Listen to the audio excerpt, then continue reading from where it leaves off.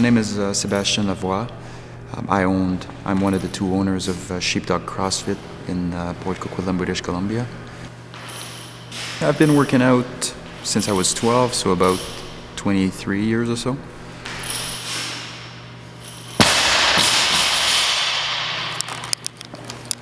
I've been involved with the CrossFit methodology for approximately eight years, I guess. I started in 2004, following the main website.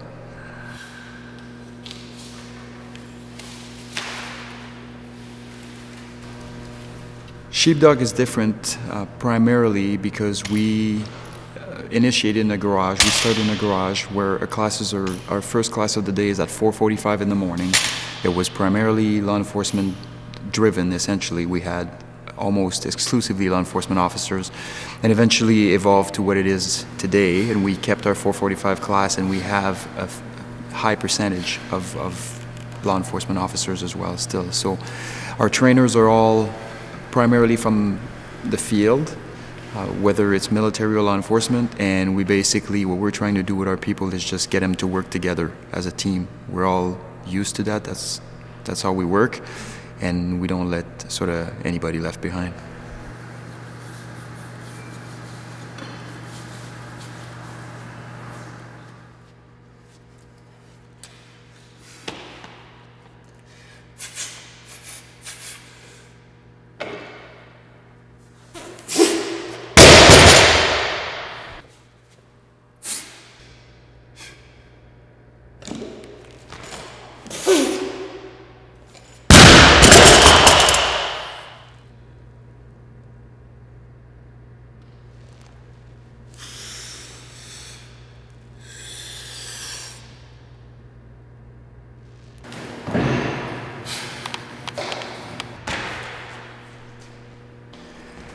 I picked Murph, and the reason why specifically uh, this workout is primarily because there's a lot of there's a big human side to this whole mission, and a lot of people that sacrifice for other people in that mission, and it's just a it's just a mere example. It's a perfect example of what human beings are willing to do for each other. That's my basically my big reason to do it. You know, you go to a box, everybody can talk about, they jump on the box, open your hips on the box, or get that triple extension, or on the GAG, engage your knees, or get that hollow body position on the rings, or whatever. What was the last time that somebody said, ooh, ooh here is scared shitless? Before what? So people don't say that because it's kind of a taboo subject, right? But the reality of it is, toilet paper does not lie. Okay? So the amount of toilet paper that the CrossFit boxes all over the world go through is insane. And that's after scientific research. Okay. So as we go to the things that we don't control, we may be able to narrow, down, narrow down some stuff that we do control. Okay? So we don't control what? The workout. Okay. Let me ask you this. Do you control your warm up? Yes. Essentially, you do. Why? Because there's no time, there's no nothing, you do it at your own pace, right? You control your warm up. All that you really don't control is the specific elements in the what. Okay? This year is the only thing you have no control over. The rest of it is completely 100% under your control. Where is the loss of control? Where in this whole thing did you ever lose control? Here. Oh my God, I gotta do 25 box jump three times. Boo. Okay? once you realize that, and once you realize that fear are common, fear is common, anxiety is common, call it whatever you want, whether, whether this is whether it is cancer, whether it is uh, you know a loss in your family, or whatever the case may be, things that are scaring you to death, everybody goes through them. Everybody. What I want to do is I want you guys and my group um, tomorrow to come over and fill the rigs with fear. So we're going to basically grab chalk and go on there and write the things that scare you the most. And what we're gonna do, once the rig is full of that, we're gonna work through them. So you're gonna do Murph through this rig loaded with all our fears, and I can guarantee you that if I write one down right here, like failure, for instance, everybody will go, oh yeah, me too. And if I say cancer, everybody will go, oh yeah, me too. Because that's what we do. Okay? Let's drop the fronts and how tough we are and how, you know, um, how good CrossFitters we are and we, our feelings, we control everything. And no, you don't. Okay? Those are all fears that are common to everybody. What we're going to do, though, is we're going to work through them, figuratively speaking, over the next two days. Cool? All right, guys, that's it.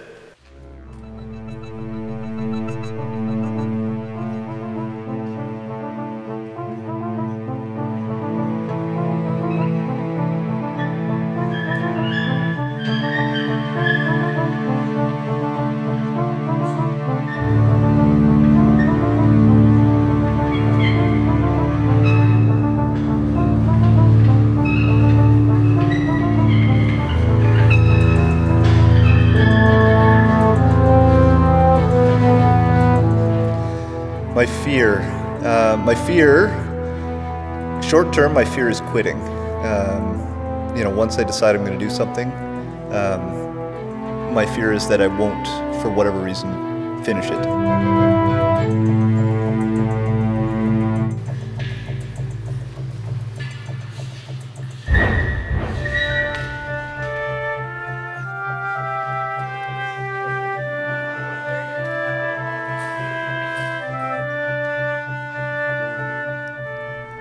My fear is losing a family member, and I'm terrified of spiders.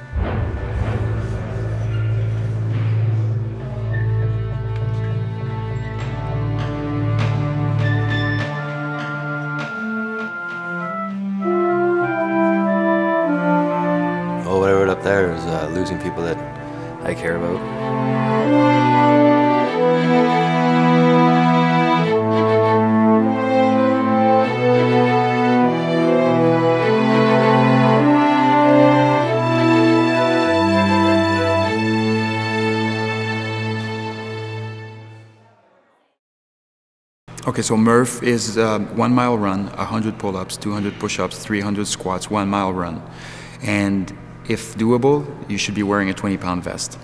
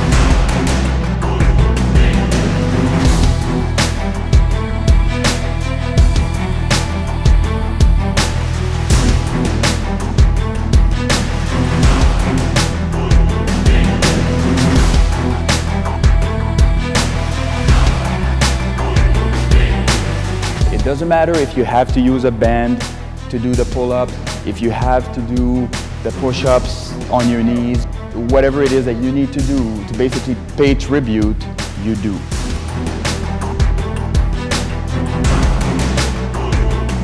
Show up and get her done. Doesn't matter how long it takes, nobody cares. Everybody cares about you doing it and, for you to know the reason why you're doing it.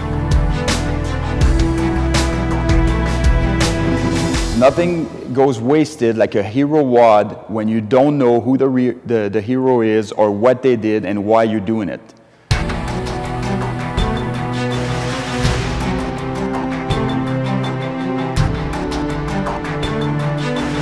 This whole thing stems from a mission that occurred as part of Operation Enduring Freedom. That was in 2005, uh, June 28th, specifically for the Operation Red Wings.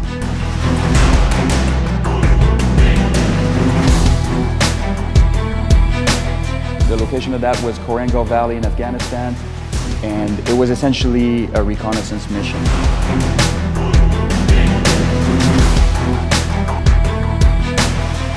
They end up fighting for their lives at the bottom of a pit, surrounded by Taliban fighters in an elevated position.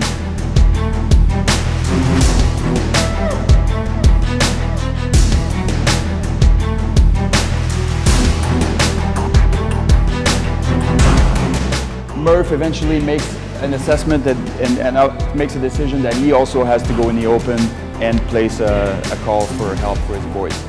So he walks in the open, Marcus is yelling at him, take cover, take cover, he's disregarding him, sits on a rock, starts calling for basically helicopter for extract, for a quick reaction force, not sure what he was calling for, obviously backup, right? And um, he gets shot, falls on the ground, grabs, the, grabs his, his uh, phone again, gets back up on the rock again and starts calling again for his boys, right? At that moment, do you think, from the perspective of a human being, do you think that Murph thought he was going to get back to his initial position? Like he has made up, he has made up his mind that he was going to call to get whoever was left of his patrol out of there. And what happened to him was inconsequential, basically. He, has made, he had made up that decision, and that's exactly what he, what he uh, was awarded the, awarded the Medal of Honor for, deservingly so.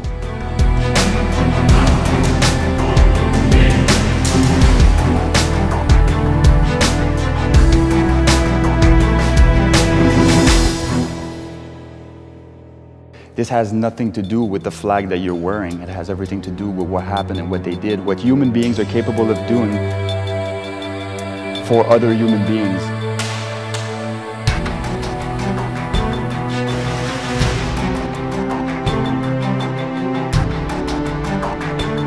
CrossFit is simply is we start together, we finish together. That's the only way to go. That's there is no other option in this box. There shouldn't be in any boxes. We don't want to turn this this system in, into fast fast food fitness, basically, where people just show up, don't care about each other, and just leave. You know, one day you're the bug, one day you're the windshield. Today you're helping somebody, next day they're helping you, and we work together through things like this. We all have strengths and weaknesses, and it has to happen. It has to be that way. And it's like this in life. It's no different. My athletes today, I didn't prompt them to do that. That's how that's how we do things here. They simply look after each other, and I just every time they do it, just give me goosebumps and, and get me completely fired up. Love it.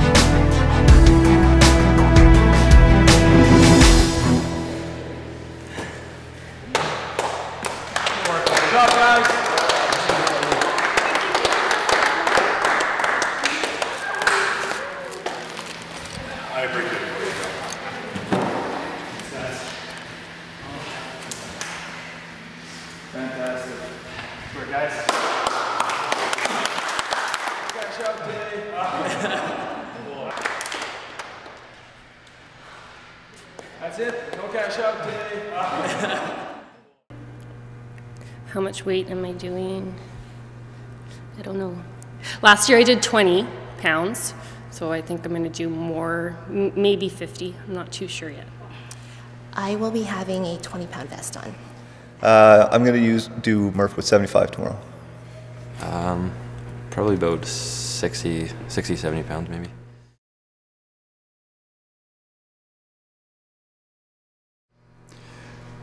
Okay, that is a good question. Um, I, over the years, incrementally went up, and I think part of me is is is wanting to test myself but the biggest is I want it to be a gut check. I don't want it to be just something that I go and do and then I go home and I'm like, okay, that's it. You know, just like people go to Memorial Day, put a little poppy on their uniform or, or on their on their shirts and, and then they go home and and crack a beer open and, and don't think about it until next year. It's one of those things where this will push me mentally and physically so far beyond my comfort zone that I will never forget it. So every day until next year, I will think about how miserable that workout was and the reason why I did it in the first place. So those guys are being asked to go in the mountains, to do, you know, to, to run missions, make some really hard decisions, um, under fire, carrying incredible load, load of weight, and I'm just going to make my life as miserable as I can in honor, in honor to them. It's that simple. Now, would I ever recommend anybody do it with that weight? No, I wouldn't. Because a one mile run with a 120 pound vest, regardless how fit you are, is no good for your knees, and the rest of it is not much better. Okay? So we'll do a couple of things. First of all, by having you guys watching us do it, you will understand the humanity in us, which is extremely important. Tomorrow, what you'll see is us breaking down. You're going to see us breaking down mentally. You're going to see us wanting to quit. You're going to see us actually probably want nothing more than quit, but we won't, right? It's important from your guys' perspective to be sitting there to see it from time to time and go like, all right, that's a dude. That's a, a, a dude with a heartbeat, with, with you know, the feelings and fears and, and stuff like that. And now all of a sudden we just expose that. And that's very important because then we're all in the same, we're all in the same boat, right? You can relate to that. And I can relate to you, you relate to me, and together we grow as a team, right? So that's very important. That's the reason why we decided to have people have an opportunity to watch. It will be painful. Bring your lunches. So we'll be here for a while.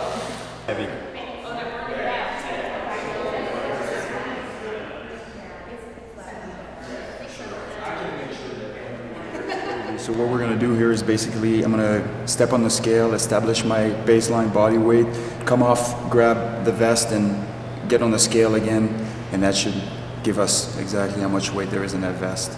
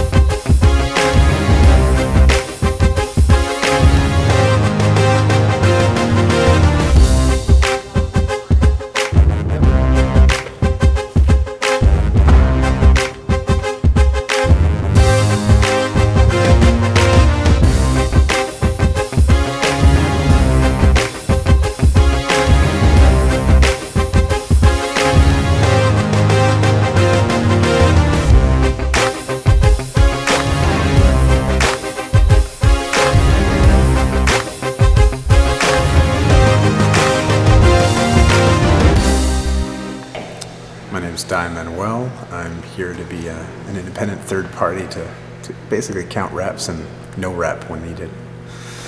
There's no confusion. You don't think you're done I keep track of everything with a little piece of chalk and marks on the floor. It'll be the easiest because it, it's counting uh, 600 reps for, for Seb, you know, in between the one mile runs. It's, uh, it's a lot of counting. It's early in the morning. Come on, let's get real.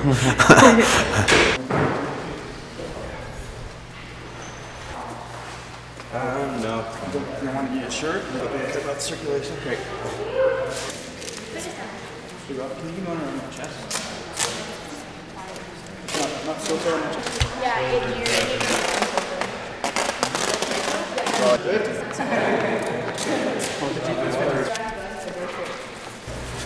Well, judge doesn't always have to be present, but you know, in this kind of situation with this kind of a, a workout, um, Murph is a it's a grueling, grueling workout, and, and it's normally done with 20 pound vests. So add an extra 100 pounds to that. Um, psychologically speaking, the, the athlete undergoes a lot of stress, and for him to count his own repetitions as well as a lot of time your brain may think that you're doing the movement, but physically something very different's happening.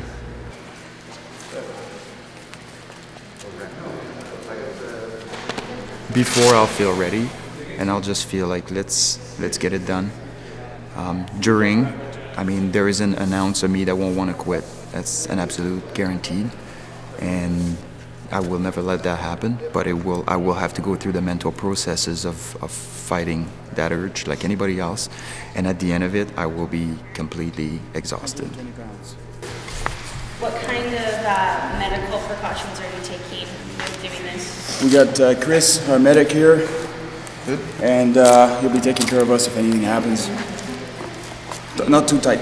It's a bit too tight. Do you want my honest honesty on this one? I, I think it's crazy, but no, no, I, I salute them. Like I think that's fantastic. It's uh, definitely.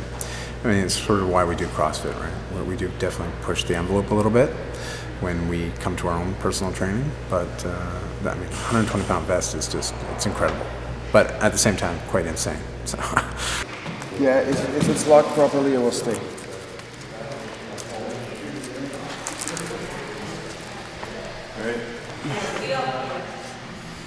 Do it.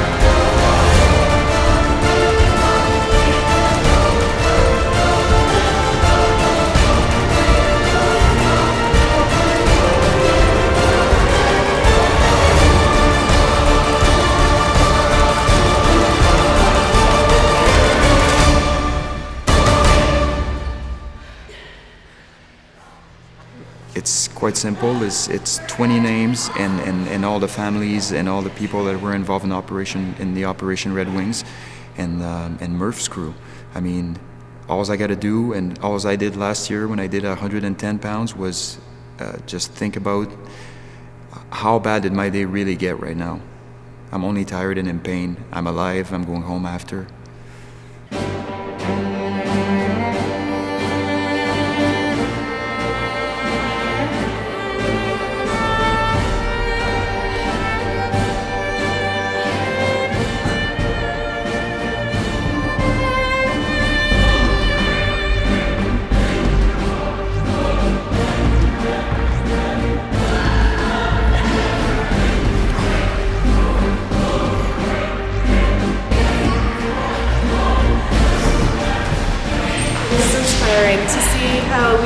Yesterday, me with no weight vest on and using bands for the pull-ups and then to watch them with the heavy weight on is incredible.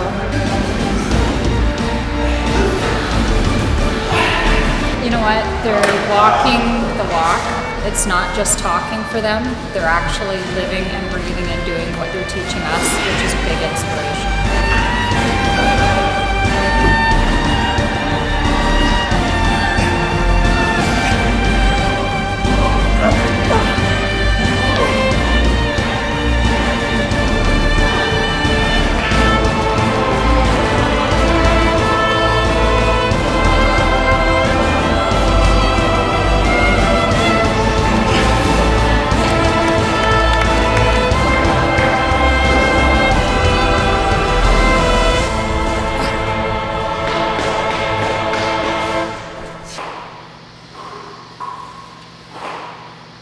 It's really hard, especially the push-ups. That's where it, it can be for most guys and most women too. It's, it's an isolation exercise just on the triceps, just loads of smaller muscle groups.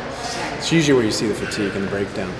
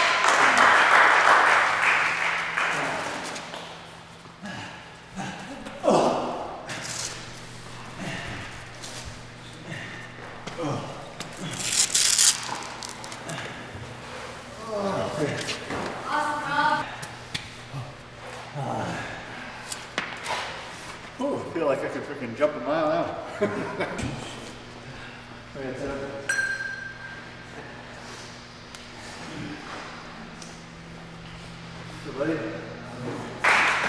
I feel I feel good. I feel uh, I'm glad it's over. Yeah. yeah.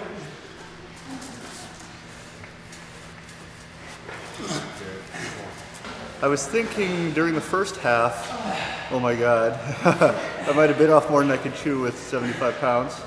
Uh, during the second half, uh, I was thinking, I've done half, there's no reason I can't do another half. Oh, he'll finish. Yeah, he'll finish for sure. Uh, yeah, he's doing really well. Yeah. Look at him, he's uh, enjoying it, looks like. Ju-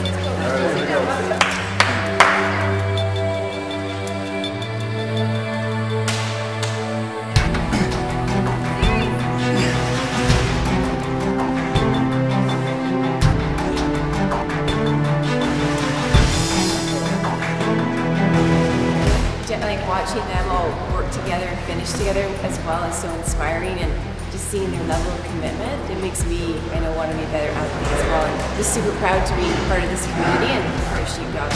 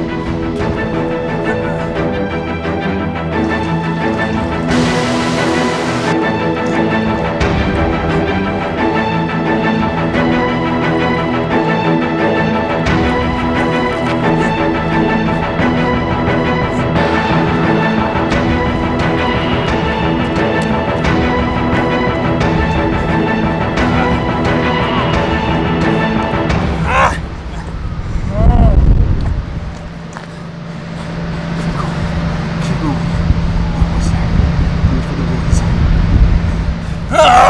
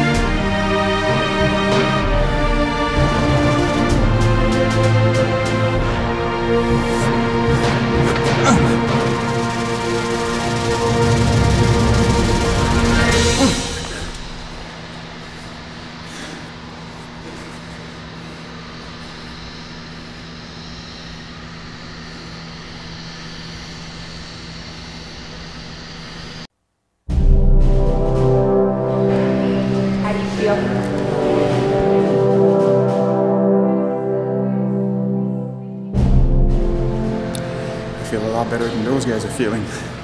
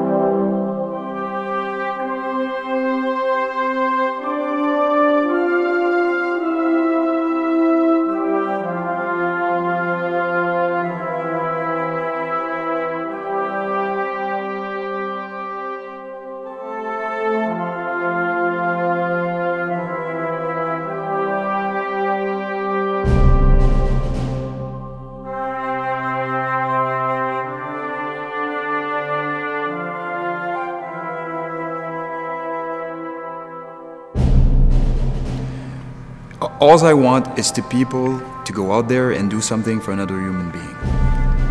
Let's put away our differences and, and let's all work together and, and, and make it happen. Be humans, be good humans to each other, and just care about each other.